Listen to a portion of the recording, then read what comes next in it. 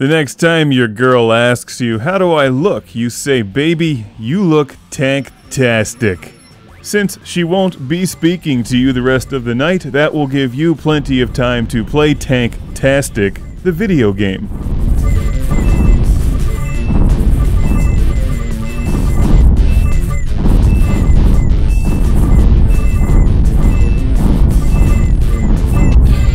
Damn, that scene gives Ikaruga a run for its money. Honey, this chicken dinner is tanktastic.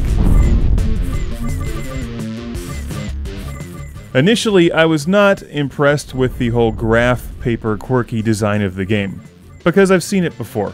I think it would be more clever to rip off the background from Showdown in 2100 AD or Armor Attack on the Vectrex, so I could do without the whole graph paper thing, but that's my only gripe, because the rest of the game is terrific, and fans of Robotron 2084, Geometry Wars, Burn Zombie Burn, and I Made a Game with Zombies should look closely at this one, because it has that twin stick Robotron style gameplay, but the shooting is different. You're not just pouring out a constant stream of fire.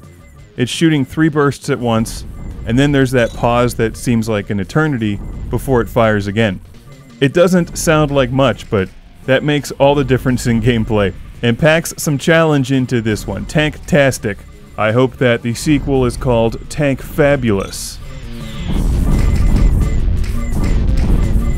And if you're watching closely, I'm playing as the blue tank through this review.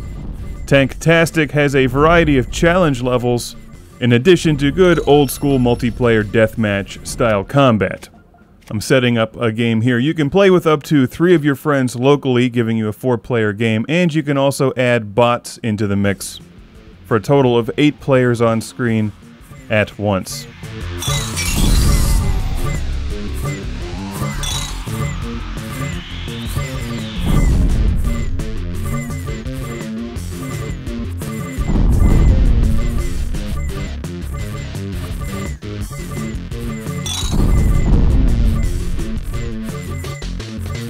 The game is visually simplistic on purpose, keeping the focus on the gameplay.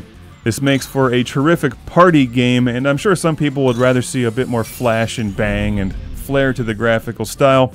And like I said, I'd have preferred to see more of a retro theme than the whole graph paper thing. But once you start playing this, you will be immersed in extremely fun gameplay, and that's what's important here.